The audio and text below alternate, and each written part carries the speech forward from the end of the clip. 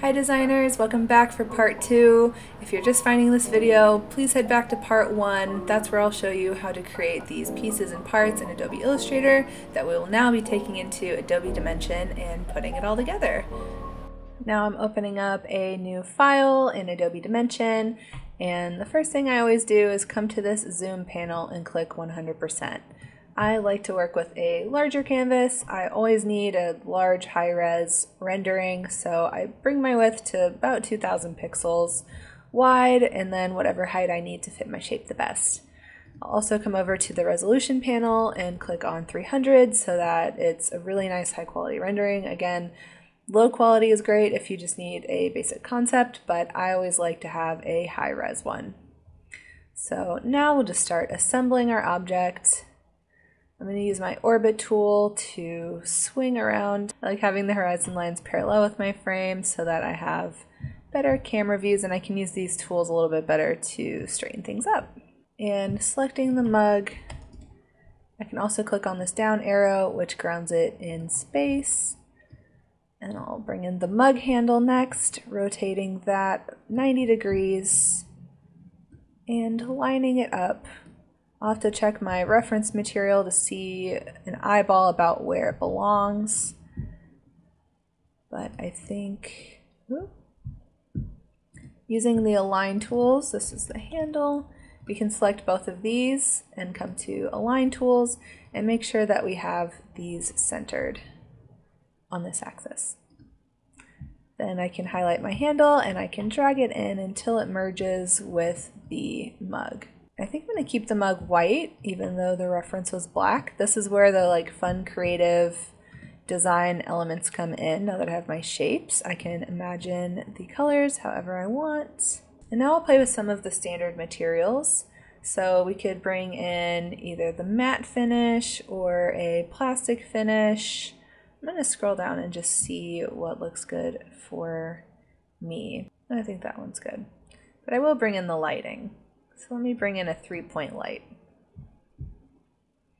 And here I'm going to bring the intensity way down because it is a white object on a white background. Sometimes that bright light can be a little intense as it is. Coming to the environment light and bringing that intensity down.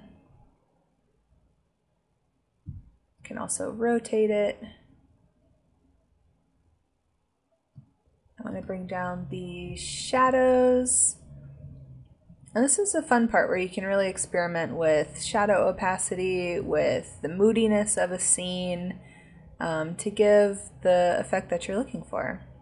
So now that I have the lighting how I like it, I can start to drag in the graphics. So I have my PNG and I simply drag and drop it over top and then position it, resizing it, holding shift to make sure that all of the proportions are constrained.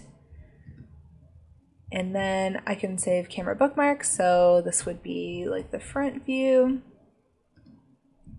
I could also do one that's maybe above.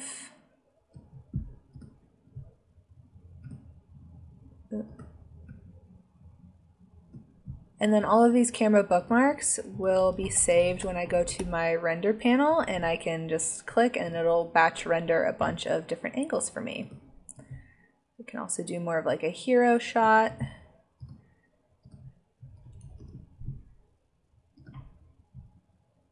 And then if I wanted to get crazy with this graphic, I could also select it and add a metallic shine to it. And that gives it just like a fancier kind of look.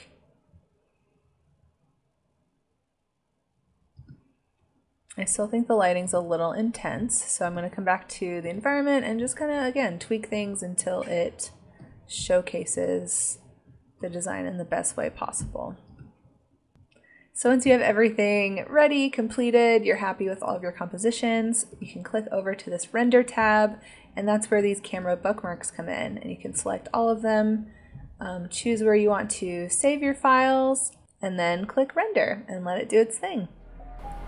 Alright designers, that wraps up this mock-up. I hope you enjoyed it and found it really helpful. If you like my content, please subscribe to my channel. If you run into any questions or if you have suggestions for what you want to see next, leave those in the comments below. And like I said in part one, I will be launching more exclusive content with other great bonuses on my Patreon starting June 1st. So join that waitlist and be the first to know when that drops. Thanks again for watching, and until next time.